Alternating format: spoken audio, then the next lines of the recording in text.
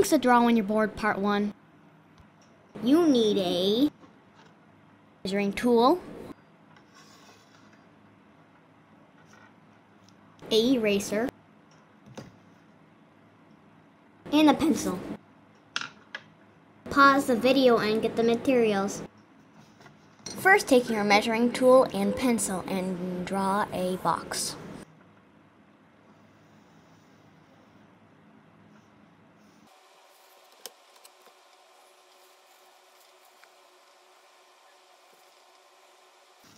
If you made a mistake like me, you can simply erase it.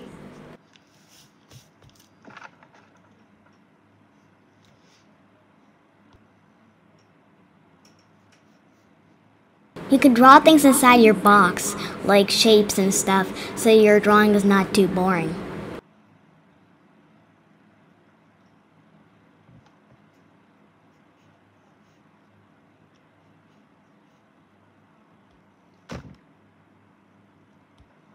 This is my favorite part, coloring.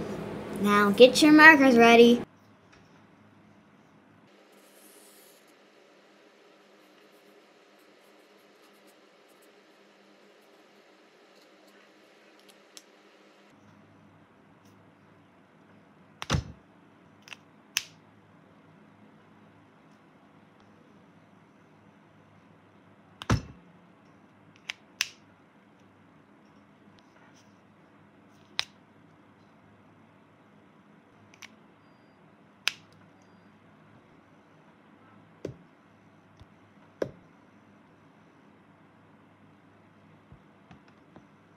You can also add different patterns.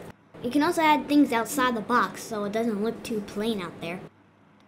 Thanks for watching. Bye!